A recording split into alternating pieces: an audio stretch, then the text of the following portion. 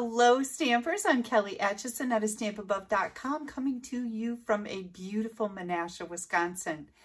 Today I have a special treat for you. We are going to do a technique called spotlighting.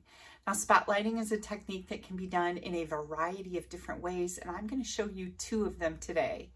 I love this technique because not only is it easy, but it also packs a big wow. I think that the cards usually turn out very like spectacular. Let's turn this camera around and I'll show you exactly what I'm talking about. We're going to kick off this card making session by showing you all the supplies that I'm going to be using to do the spotlighting technique cards.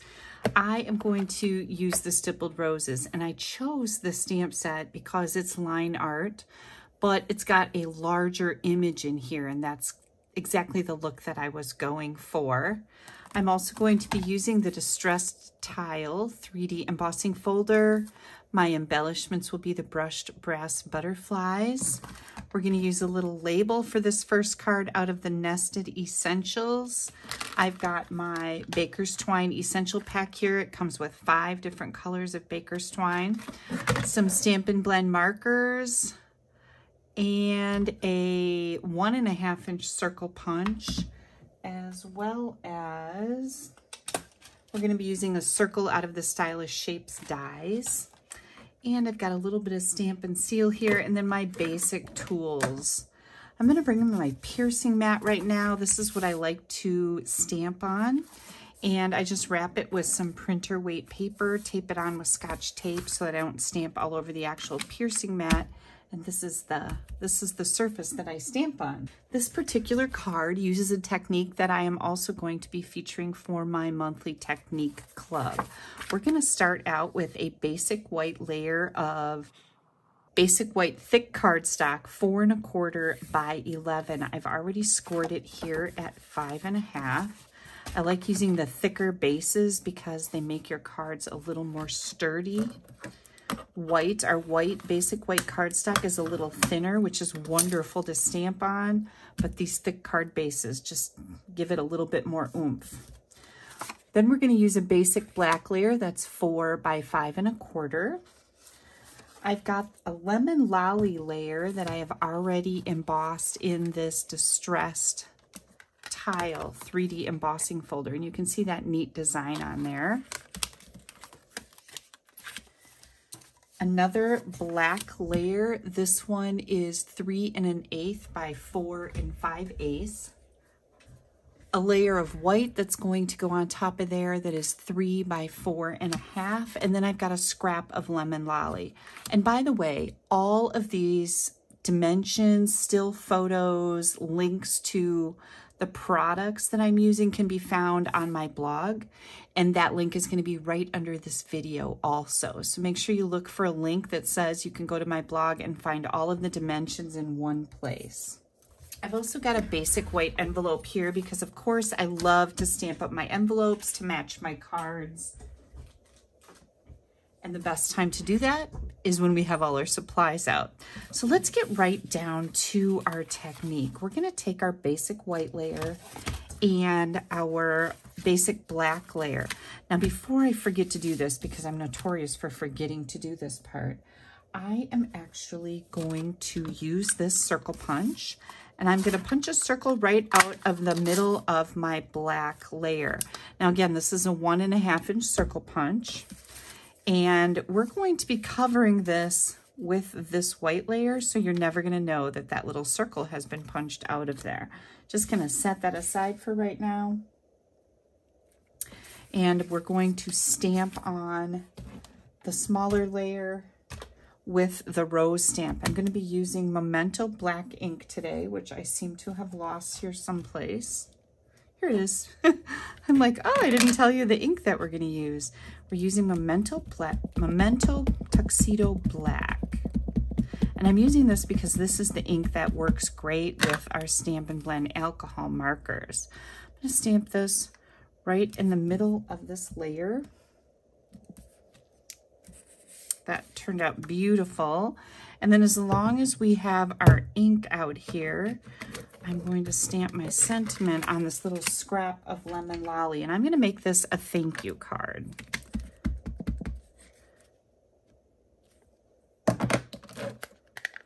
This away. I'm going to clean off that rose stamp right away because I'm going to use that on the inside of my card as well. And I need it to not have black ink on it. This is a Stampin' Chamois. This is what I use to clean my stamps with. You'll find this in the product list underneath um, all the photos that I'm going to put on my blog. So lots of good information on my blog. You want to make sure you take a look at that. We're going to get the Nested Essentials dies out here. This is a fantastic set of dies. With all these shapes in here. I've used this one a lot. So I'm going to die cut this. Then I'm going to take the circle and this is the second from the largest or second from the smallest circle in the Stylish Shapes dies. And I'm going to die cut right about here on this particular layer. So I'll be right back, hang tight. And here we come with that little circle. And then here is our sentiment layer. And what we need to do with this is we need to color it. And what I found is because this is such an intricate image that I actually want to kind of place it back in here and see what's supposed to be flower, what's supposed to be leaf. I've got Lemon Lolly Dark, and I'm just going to go through here and kind of outline so that I don't color leaves yellow. And I want to just stay right on this circle. And this, I think this flower kind of ends right there. And this is another petal on the next flower, just so I kind of know what's happening here. I'll be coloring just a little bit more as soon as I take the circle back out of here. I'm only doing this because it's, this image is, like I said, it's just so intricate, it's hard to really see what is supposed to be green and what's supposed to be yellow. Okay, now we're gonna pop that out of here. Now, if you don't have a real intricate um, stamp, you're not gonna need to do what I just did. I'm gonna grab my light uh, Granny Apple Green. Forgot what color I was using here. And I'm just gonna come in here and make sure that I've covered all my bases and I get everything colored in. This is, again, the dark lemon lolly. I'm going to use the lines, like the shaded lines that Stampin' Up! has created here with the artwork to know where I'm going to put my dark. And that looks pretty good. There's no rhyme or reason to it. You can do as much or as little as you want. And then I'm going to come in and just blend all this color with the lighter one. That's how I use these blends. These are alcohol markers. They're fantastic. I love them so much because they don't leave, they, they leave no scribble lines. I can probably come back in here with my bigger tip and they kind of smell good. I'm not going to lie. Some people might hate the smell, but I'm like, hmm, I don't think you're supposed to sniff them. okay, you might get drunk, right? It's alcohol. Okay, so this is what we have. We have this beautiful flower. I've just colored in the little bits on this circle. I'm going to attach this to my black layer. And that's going to make just a nice frame for this circle. Okay, now we're going to come in and we're going to add this back together. Don't worry about that hole there. Doesn't matter. You could, either way, it's going to kind of show up here a little bit. I'm going to add my glue right on here. I don't want to get too close to the edge like I just did because we don't want any glue peeking out under this black layer. Just going to get this on here as straight as I can. I like to use the multi-purpose liquid glue because it gives you that wiggle room. That's nice to have. Now, before we do anything else with this, I am going to take my black out of the Baker's Twine Essential Pack, and I'm going to tie this. I want to leave enough room to make a nice bow.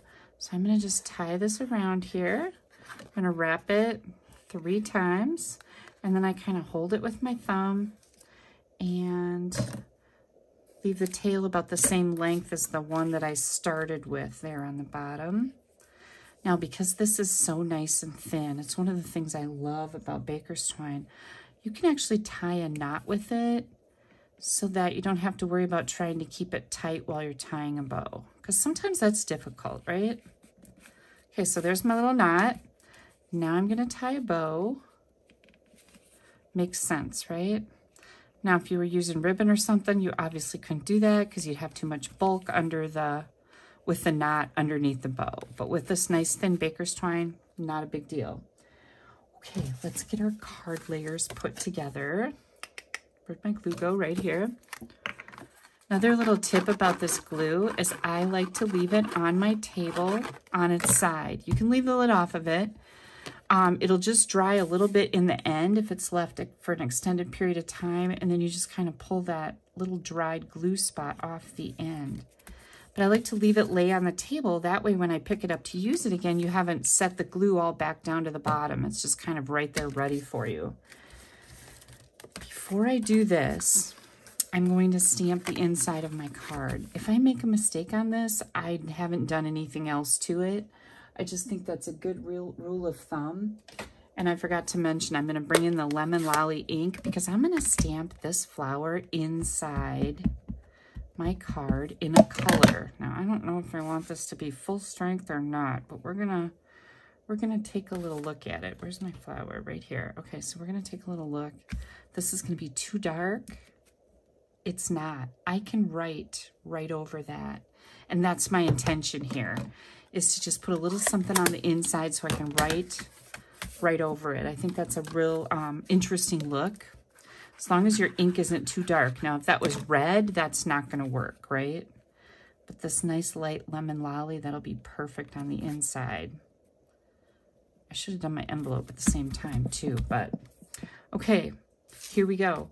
We are going to add this to our card front. I want to make sure I get a sufficient amount of glue on here because we do have an embossed layer and we've got that baker's twine under there that's I need to make sure my glue hits the front, you know, my cardstock, so it glues on there. Now you've noticed that I've pushed it all the way up to the top left corner. I just thought that was an interesting look. You can certainly put it in the center if that's what you want, but our sentiment is going to play a part in this placement put a dimensional on here. One would probably be sufficient, but gosh, I have like 250 or 300 in a pack, so why not? now what we're gonna do with this is we're gonna place this back in here like a puzzle piece. So I can see that this flower goes up here.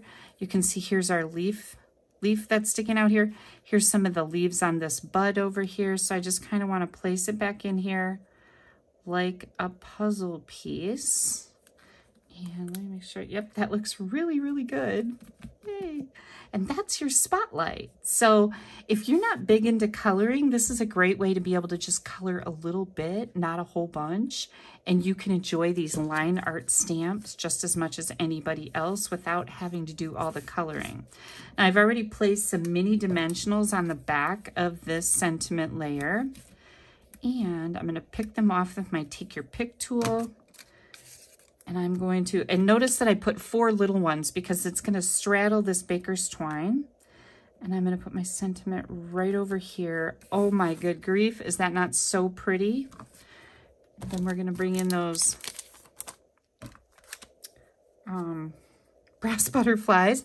I'm going to take this little tool out of here and I'm going to flip it around so I have the spatula.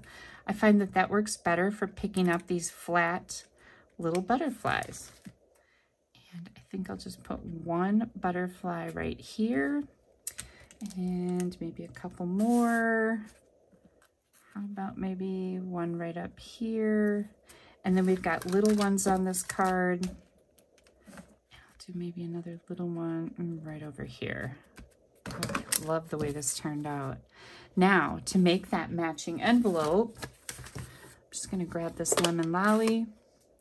I'm going to stamp my rose again. And I think I will just kind of put it mm, right in here. And now we've got an envelope that matches our beautiful card. I should get this out of here before I throw my card in it, right? Isn't that pretty? Spotlight technique. So, like I said, this is part of my monthly technique club. I'm going to use this for and send this out to all of my technique club members. It's an online club that each month a minimum order is placed and then you get this instruction sheet that also has the date of the video on it so they can go right to my blog and find the video tutorial. And then it's got a little sample of the technique on here. And for this one, I use the leaves and I use some smaller punches because I'm working in a smaller area. But this is super fun. Every month we do this. And again, there's going to be a link right underneath this video that will take you right to the Technique Club details. If you're interested in that, you do have to live in the United States to participate. But anybody can participate, whether you're a demonstrator or a customer um, I make that available to everyone. Okay, I'm going to clean up my space here and then I'm going to show you another spotlight technique and a bunch of cards that I have made using these, um, using this technique. I made several different colors. Hang tight. Okay, for this particular spotlighting technique, I've got my card base and I'm using Petunia Pop here that is five and a half by eight and a half. I've scored it and folded it.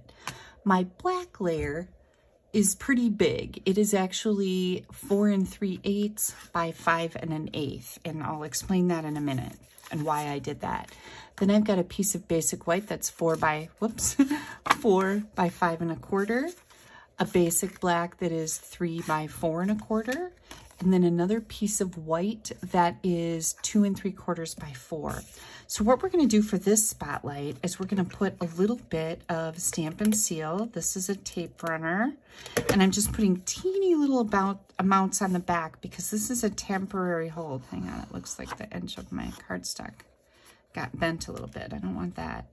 I'm gonna do my very best to center this on my white layer and that looks pretty good. So we've just got those two little dots of ink in there. We're gonna be using that Memento ink again with this large rose image. And you'll notice that I bring my ink to my image like this versus trying to stamp my stamp in it because I can see what's going on with the bigger stamps doing it that way. Oh, you know what we need to do? We need to stamp our sentiment. And while the Stippled Roses has some really wonderful sentiments in it, I decided that I need some get well cards. So I'm going to use So Sincere, Hope You're Feeling Better. And then I made some more cards with some other sentiments out of here that I'll show you in just a minute. So I've got Hope You're Feeling Better. And I'm going to do that first because I need to work around my sentiment. And let's see. Mm, we're going to go this way with this card.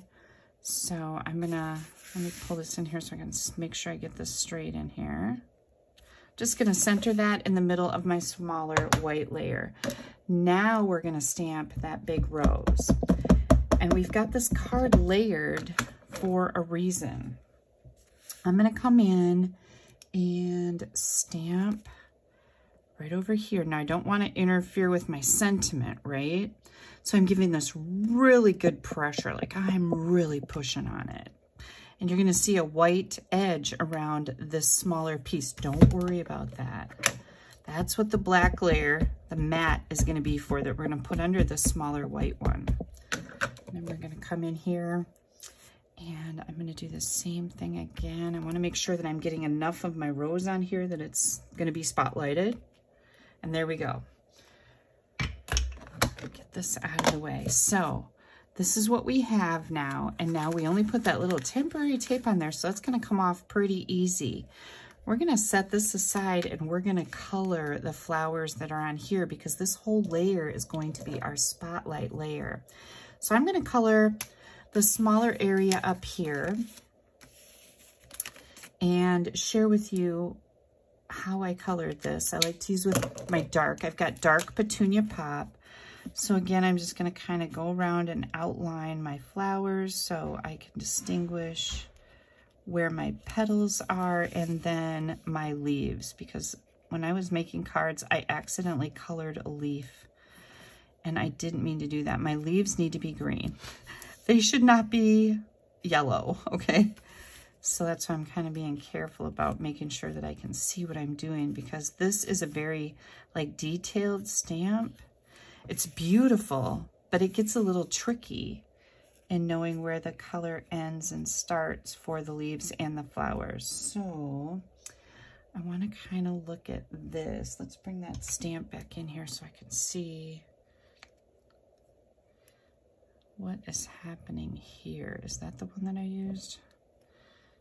Mm, no, I think it's right here. So I'm just looking at this over here and that's right here. So this little part right here is also flowered. Does that make sense? I just don't want it to be goofy. Okay, so I've got that. Then I'm gonna come in with my lighter Petunia Pop and I'm just gonna start blending. Remember, we still got that little bit of sticky on the back of here too, so don't set it on anything that it might stick to that matters. Guess that's a good way to put it. This would be a good place to use that bigger brush end on your marker. I don't use those ends very often. I don't know why. I don't think I'm that great of a colorer, so I try to be careful. Okay, then I'm going to use the dark Granny Apple Green, and I'm going to go around and do a little bit of shading on my leaves.